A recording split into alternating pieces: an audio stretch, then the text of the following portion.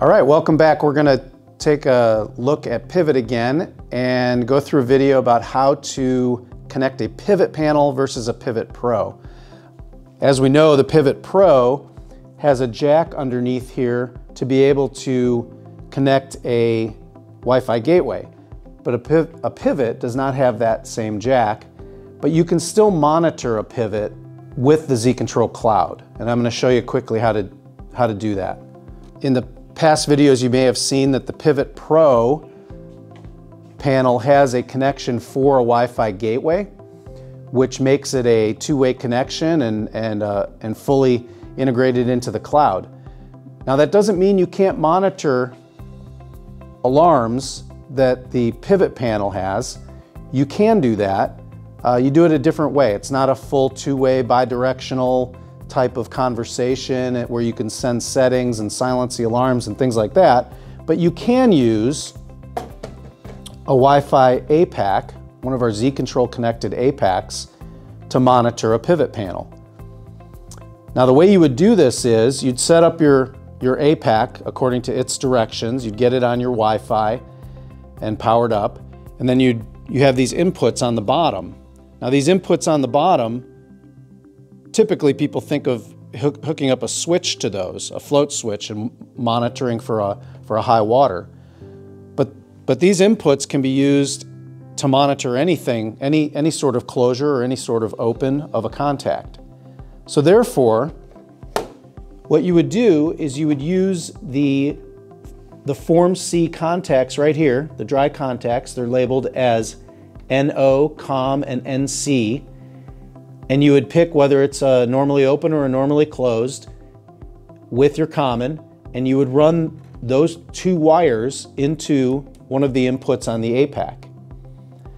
So for example, if the pivot goes into a high water alarm, the output of the dry contact then has a signal as an input on the APak, which will then talk to the cloud that there's that there is a, an alarm.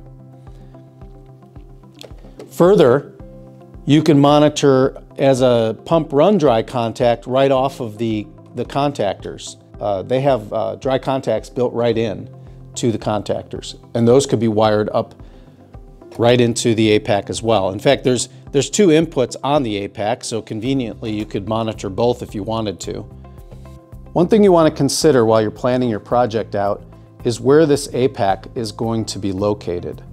Now this is an NEMA 1 enclosure as opposed to the NEMA 4X enclosure that the pivot control panels come in.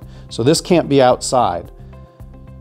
So one of the considerations is the length of wire that will need to go from your dry contact on the panel to the input here because this may be inside of a building, this may be outside of a building, um, and you're going to need to bury that that wire. Well, I think you'll be able to, you'll need to bury it. Maybe it's mounted to the, to the building itself and you can, you can bring it right in. It's a possibility that you could put it, you could mount it here, but that would mean that you've brought power somehow to this. And it would also mean that this box, wherever it's gonna be located, has a Wi-Fi signal for this APak in that location. Otherwise, this is going to have to go inside and in range of the Wi-Fi router. You can always consult the installation instructions for the pivot control panel to see which alarms will be triggered and, and use the dry contacts, which will then result in, a, in an alarm to the APak. So I mentioned the high water alarm would trigger the globe and the horn and the, and the dry contacts to open. But there are there's several others such as uh, a float logic error or a, a control voltage error, a, a contactor error. Some of those other alarms are listed in the instructions and might be useful for your installation.